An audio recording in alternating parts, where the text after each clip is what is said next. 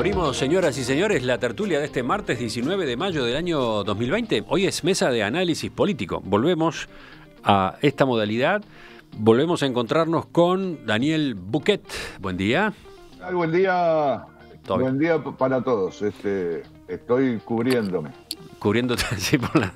No, que no salga leer nada sonidos, De sonidos indeseables. Sí, sí, y vamos a también este, eliminar chats indeseables por las dudas, ¿no? Digo, teniendo en cuenta alguna experiencia anterior. Sigo. Daniel Chasquetti, buen día. Buen día. Federico Irazábal, ¿cómo te va? Buen día para todos, ¿cómo están? Y Adolfo Fito Garcés, ¿cómo anda? ¿Qué tal, che? ¿Cómo están? ¿Todo bien? Bien, por suerte. Hoy tenemos el show de las bibliotecas. Eh, no había pasado todavía eh, en, las tertulias que hubiera unanimidad en los cuatro participantes, todos con biblioteca detrás.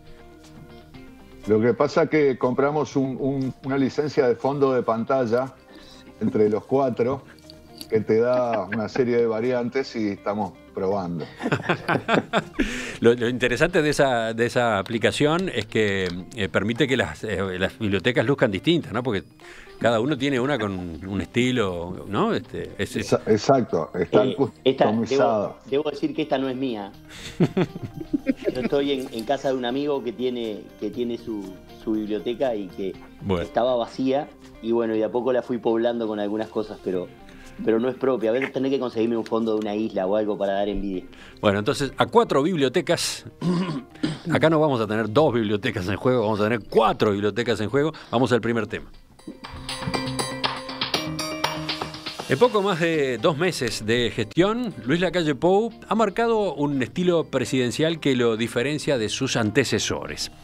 Su exposición pública ha sido alta a través de conferencias de prensa organizadas en la torre ejecutiva, a través de salidas al interior y en las últimas horas también en entrevistas en medios de comunicación. Las sesiones con el gabinete de ministros completo, que solían ocurrir los lunes, esa era la costumbre de los periodos anteriores, bueno, han sido sustituidas por reuniones mano a mano con los secretarios de Estado, una forma de trabajo que, según había adelantado la calle Pou durante la transición, buscaba darle más agilidad al gobierno. El presidente, por otro lado, ha recibido al Frente Amplio y al PIT-CNT, pero hasta ahora no da lugar a sus planteos, por ejemplo, el, el de atender el impacto social de la pandemia COVID-19 con medidas como una renta básica para determinados sectores de la población. Por otro lado, la semana pasada mostró su disposición a dar marcha atrás cuando anunció, luego del reclamo de los científicos, que el PDCIVA, el Programa de Desarrollo de las Ciencias Básicas, queda excluido de las restricciones presupuestales definidas por el Poder Ejecutivo el 11 de marzo.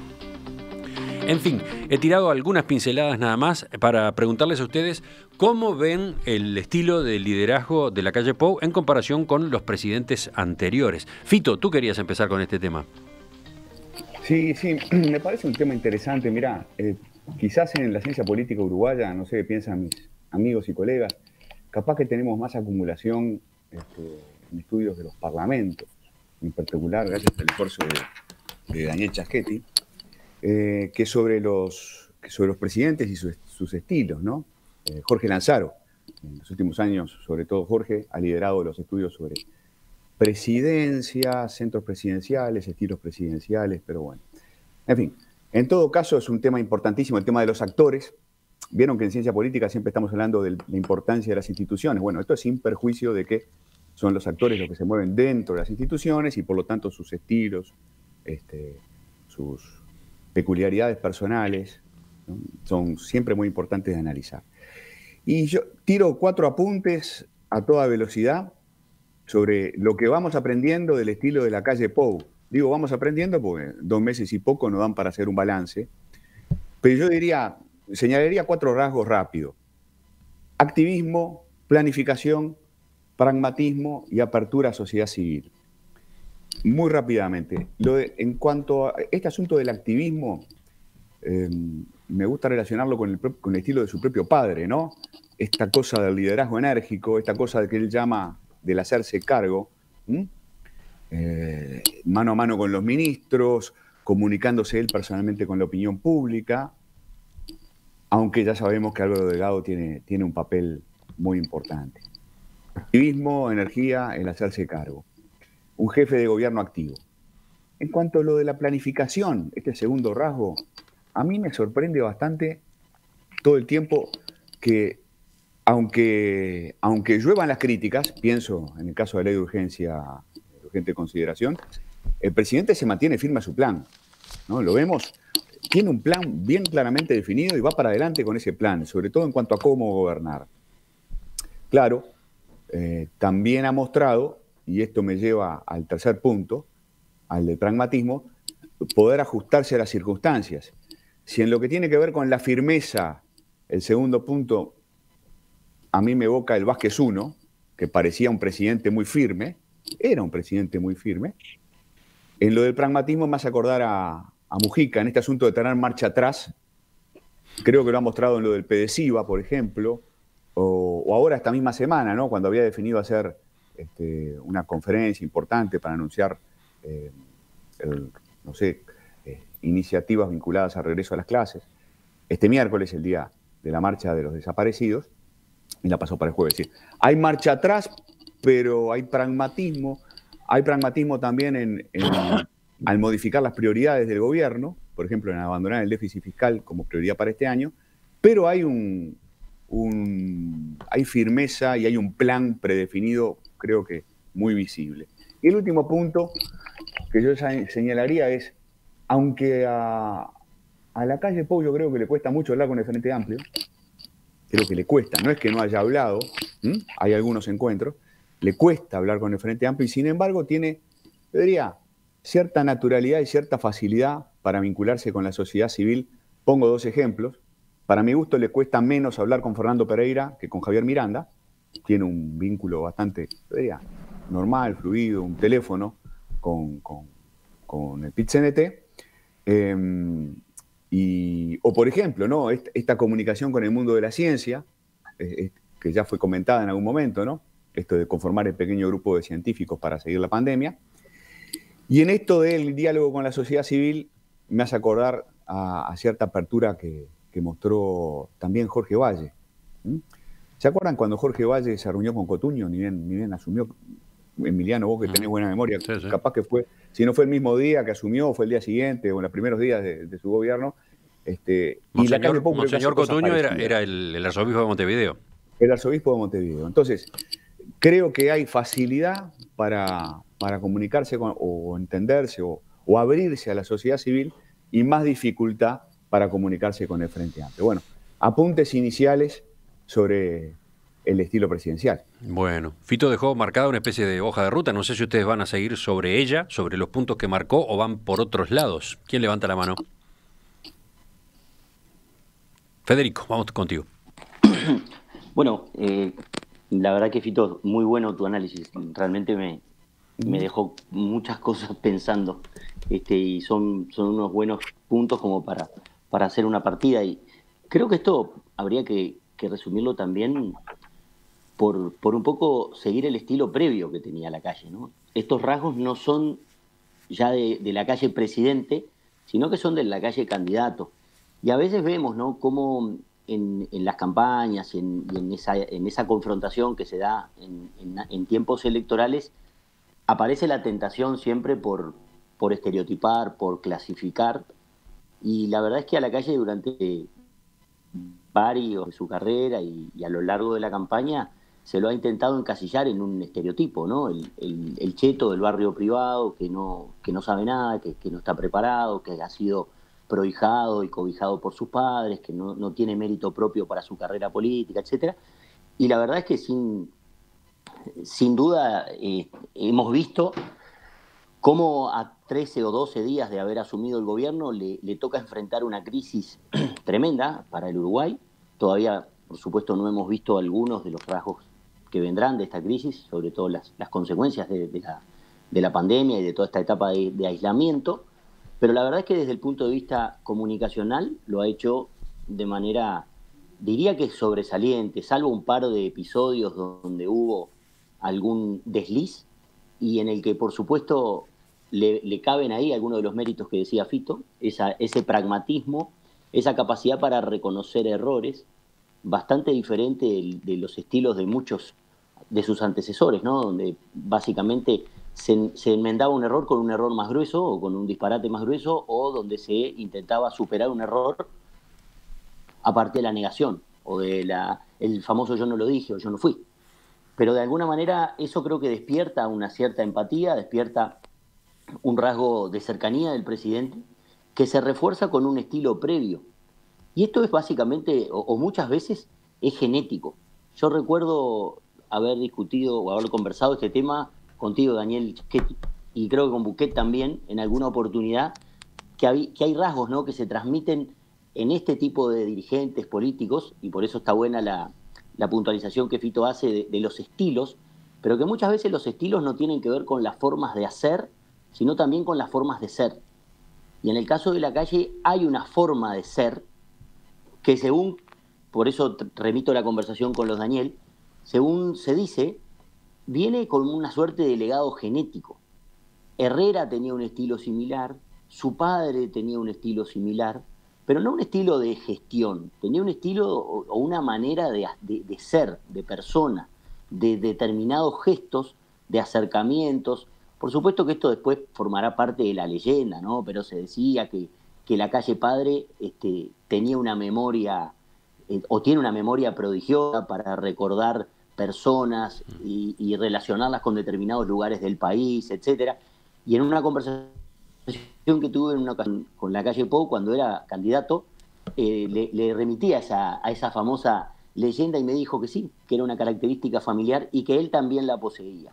Y a modo de prueba me, me dio tres o cuatro números de teléfono que le habían pasado hacía un rato en una de esas reuniones y me los mostró en el celular, mientras me los iba diciendo, ¿no? Entonces, uno dice, esto, esto es parte de la preparación y capaz que la anécdota es muy, muy básica, pero, pero es parte de la preparación para el ejercicio de una función que muchas veces, en, momentos muy importantes y, muy frecuentes, no requiere de una preparación académica y no requiere de una capacidad de, conocimiento, sino la personalidad del individuo juega un rol muy importante. Y acá creo que se vio y, y, el COVID-19 lo, lo, de alguna manera lo potenció. Seguimos ahora con, Daniel. Bueno, ¿cuál de los dos? Chasquete. Vamos primero con Daniel Chasquete. Bueno, sí, mi análisis es, un poco más, digamos, tradicional. O sea, yo parto de la base de que la calle Pou eh, es el presidente más débil de la historia política reciente. Este, tiene una bancada de su partido muy pequeña, menor que la que tuvieron todos los, partidos desde que de los, partidos presidenciales desde que eh, recuperamos la democracia. Este, eh, tiene un, gobierno de coalición este, compuesta por cinco socios, eh, un entramado muy complejo, este, y, me parece que esas condiciones políticos e institucionales condicionan el desempeño del presidente. O sea, eh, yo interpreto que la calle Pau actúa como actúa porque está bajo esas circunstancias. Y, como esas circunstancias requieren ciertas, ciertas tareas, ciertos desempeños, eh, entiendo que, la calle Pau los está resolviendo de una forma, digamos, muy eficiente. Yo le pondría una nota alta, porque mantener una coalición eh, exige tener muchísima paciencia, eh, yo creo que él tiene mucho más paciencia que su padre, creo que es mejor político que su padre. Su padre tuvo grandes eh, dificultades para tramitar una coalición. Este, y, me parece que, además, este, bueno, hay como determinadas circunstancias que curiosamente lo ayudaron, ¿no? Es decir, yo creo que la, la pandemia, este, la crisis que se desata por la pandemia, eh, fue un factor que, bueno, que le, generó una oportunidad y creo que lo utilizó bien. Una oportunidad, a ver, ¿en qué sentido, Daniel? Y bueno, eh, era un desafío altísimo, porque un gobierno muy nuevo, con poca experiencia, que ni siquiera había nombrado todas las autoridades de la salud. O sea, era una transición todavía a medio camino y cae este masazo. Y me parece que, bueno, que la calle Pou utilizó la oportunidad. Eh, en general, si hoy miramos y comparamos a los gobernantes del mundo, a casi todos, todos los que hicieron las cosas razonablemente bien les va muy bien en la opinión pública. Este, de todas maneras, lo de la calle Pou eh, eh, es, es, muy bueno, lo que, según muestran las encuestas, ¿no? Es decir, que se movió de manera sensata, razonable, este, tomó algunas decisiones eh, importantes, ¿no? Es decir, él decidió no cerrar absolutamente, no, no, eso me parece que es un mérito cuando todo el mundo se lo reclamaba, ¿no? Desde adentro de la coalición, desde la academia, desde la oposición, tuvo la valentía, me parece que eso eh, eh, eh, fue, un acierto. Desde luego hay cierta, cierta fortuna en cómo se van dando las cosas, pero me parece que él ha sabido aprovechar este, y, creo que ahora lo que hace es tratar de pilotear este crédito que se ha ganado en la opinión pública, este, con desafíos fuertes, porque ahora los desafíos no vienen tanto del lado de la crisis sanitaria, sino que los desafíos comienzan a venir de adentro de la coalición. Y yo creo que ahí va a estar sometido eh, a una serie de, mm. presiones, ¿eh? porque hay, eh, sus socios también están jugando sus cartas y cada día las juegan de, una manera un poquito más audaz. Capaz que de eso hablamos con un poco más de detalle en la segunda parte de, la tertulia, ¿no? Pero ahora escuchemos al otro Daniel, Buquet. Bueno, mira, ya, ya han dicho varias cosas y no sé si voy a, si voy a agregar algo nuevo, pero me bueno, podrías, podrías discrepar, por ejemplo.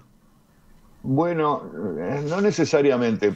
Eh, voy a plantear un matiz al final, pero primero voy a decir el, algo así como el estilo del presidente es algo que deberíamos dividir en, por lo menos dos ámbitos bastante diferenciados de actuación. Eh, uno, creo que es el que todos estamos tendiendo a evaluar tiene que ver con su comunicación pública. Es decir, el presidente ante las cámaras y los micrófonos. Es cuando la gente lo ve, cuando lo vemos. Hmm. Lo vemos en las conferencias de prensa, lo vimos mucho.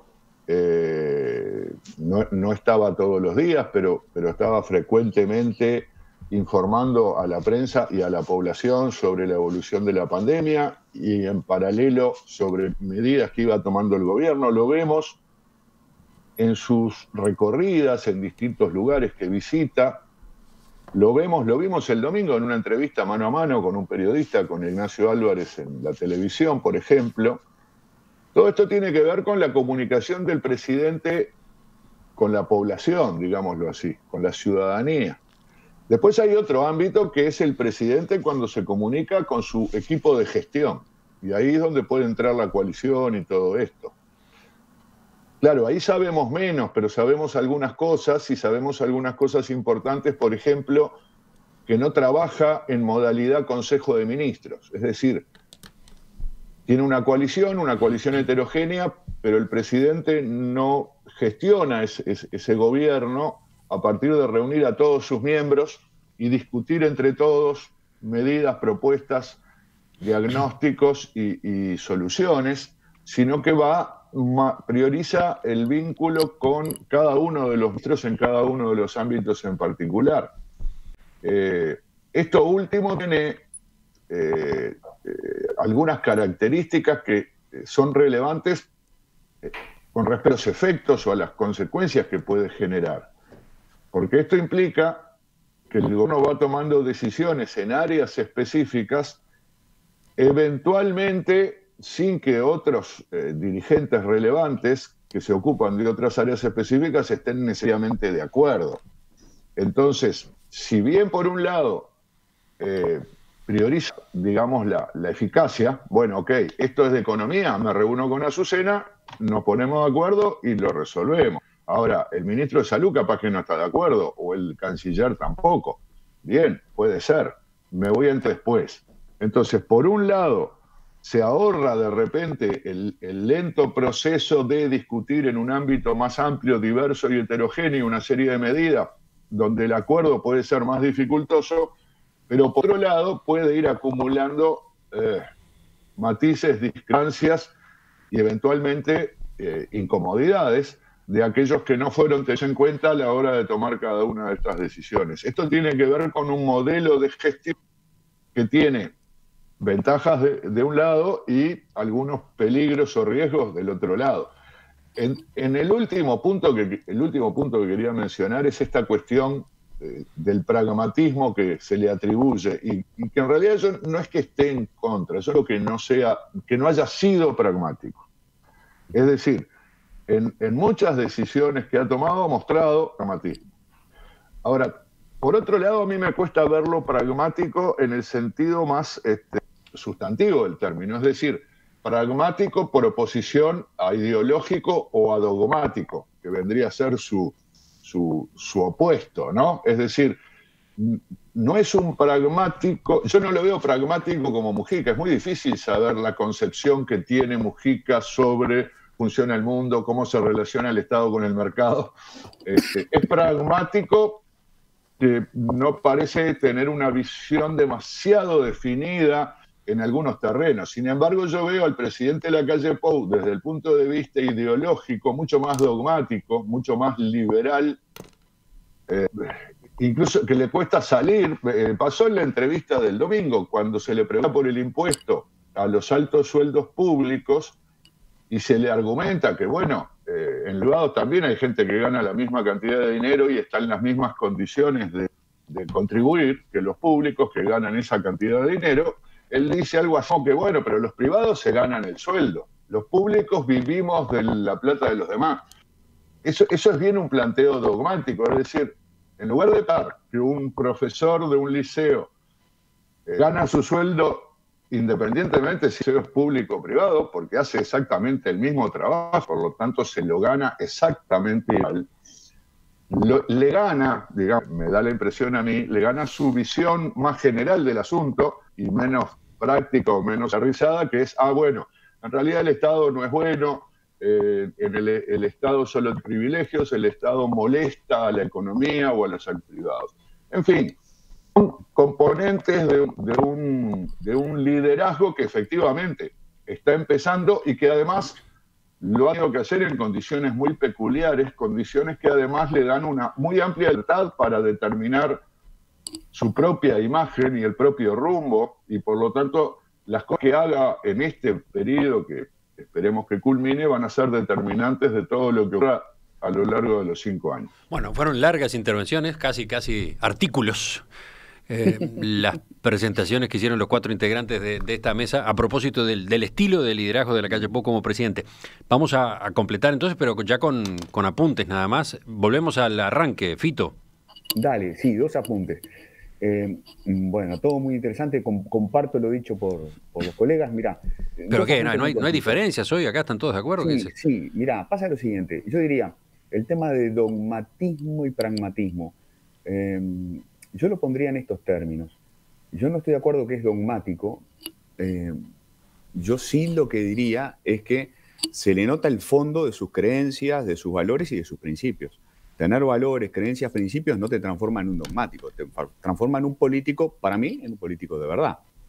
Un político de verdad tiene valores, creencias, principios y va, se va ajustando a las circunstancias, bueno, en una tensión permanente entre los desafíos de las circunstancias y este fondo eh, axiológico, ¿no?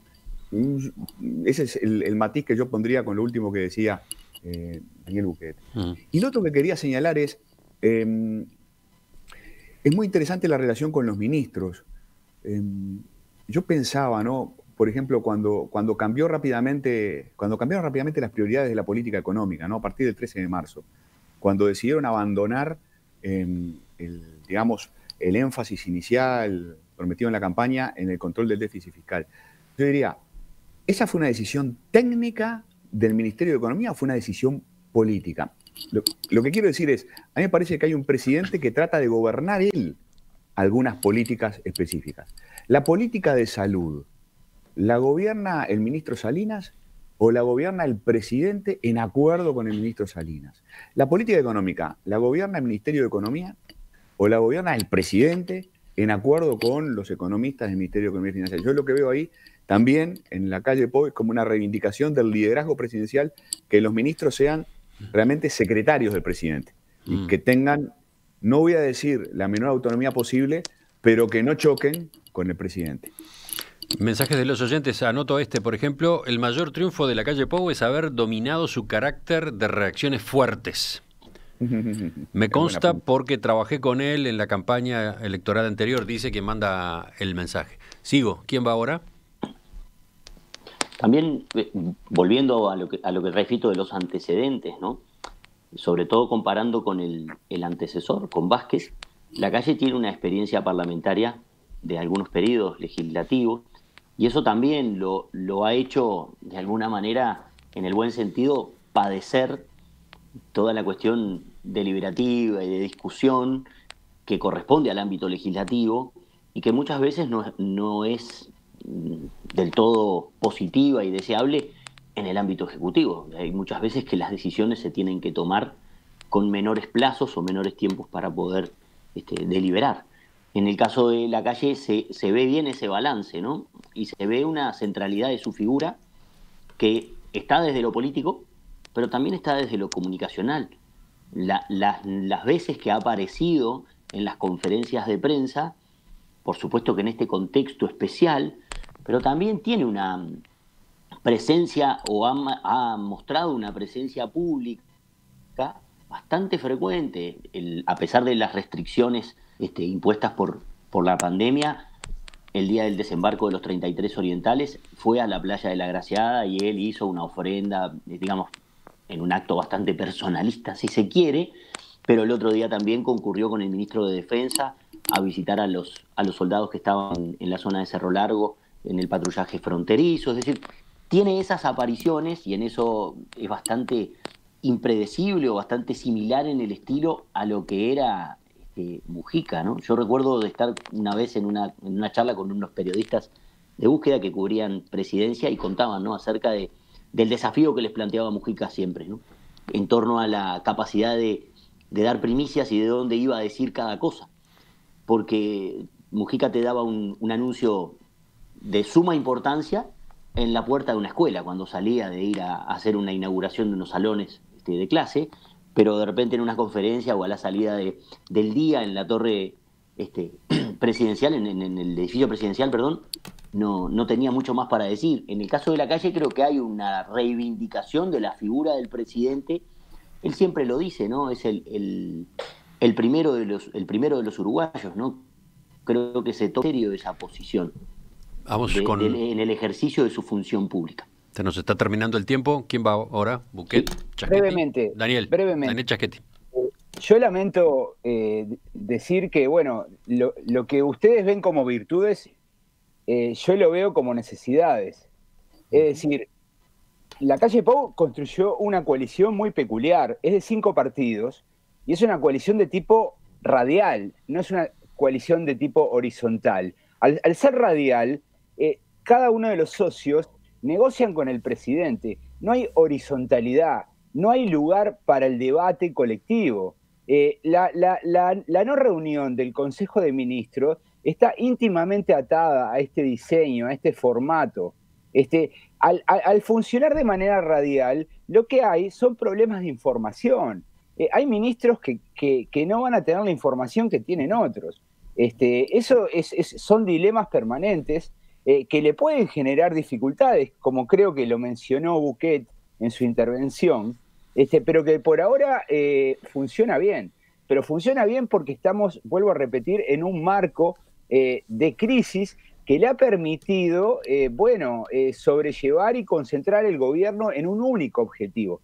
Cuando la situación se normalice, yo entiendo que los desafíos que va a tener la calle Pou en la conducción del gobierno van a ser bastante mayores y hay que ver si esos dotes o esas, digamos, virtudes que se les están destacando en esta mesa se mantienen, ¿no? ¿Y Buquet?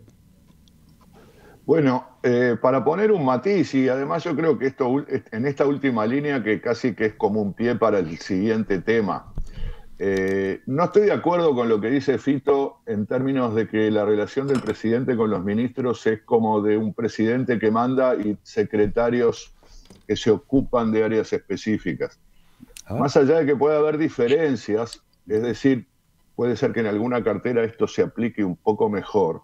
Yo te diría, a ver, Azucena Arbeleche este, o Pablo da Silveira son figuras de mucho peso en sus respectivas áreas. Gente que tiene una trayectoria y un prestigio que antecede a su ejercicio de la cartera. Ahora, son figuras súper canas al presidente. Eh, no son meros mandaderos, evidentemente, porque tienen su, su, visión del asunto y tal vez el presidente en muchos casos haya comprado la visión de Da Silveira o de Arbelecha en cada uno de los. Por otro lado, Talvio Larrañaga. Talvio Larrañaga no son eh, secretarios de la calle Pou. Eh, no creo que se vean a sí mismos de ese modo, más allá de que, evidentemente, en el área, digamos, de la represión, de la policía, la Rañaga tiene una visión que es coincidente con la de la calle, o en el área de las relaciones internacionales, Talvi también tiene una visión similar o concordante. Yo creo que, se ajusta más lo que acaba de decir Chaschetti, eh, y, y no niego, ojo, que el presidente sí se muestra como un jefe un jefe de equipo y, un, y, quien es responsable en última instancia de todo lo que haga el gobierno. En ese sentido, es cierto, podría ser un presidente eh, más horizontal y diga, bueno, no, no es lo que yo mando, es lo que manda el gabinete, es lo que manda el Consejo de Ministros. Pero creo que, que, ahí justamente hay una situación eh, variada que depende en todo caso de cada una de las carteras. Algunos mensajes de los oyentes a propósito de la discusión en la mesa de análisis político en el primer segmento, estilo de liderazgo de la calle Pou comparado con otros presidentes. Por ejemplo, eh, Marita, Marita pregunta, como psicóloga me encantaría saber de dónde sacan esos atributos que ven en su personalidad, en qué se basan. Después, eh, a propósito de consideraciones de Federico Irazábal, dice Gustavo, eh, lo de la espontaneidad y naturalidad incluye hacer esas salidas imprevistas, entre comillas, con las cámaras de los informativos a continuación, con las cámaras detrás de él. Eh, después, eh, otra pregunta es si, si es un estilo personal o es una construcción muy buena que han hecho sus asesores de imagen. Y después, a propósito de ese, esa forma de tratar con los ministros, de la que se hablaba, pregunta a otro oyente, en este caso Andrea, ¿divide y reinarás? ¿Esa será la consigna? ¿Ese será uno de los instrumentos de la calle Pou a propósito del manejo de, de su coalición de gobierno?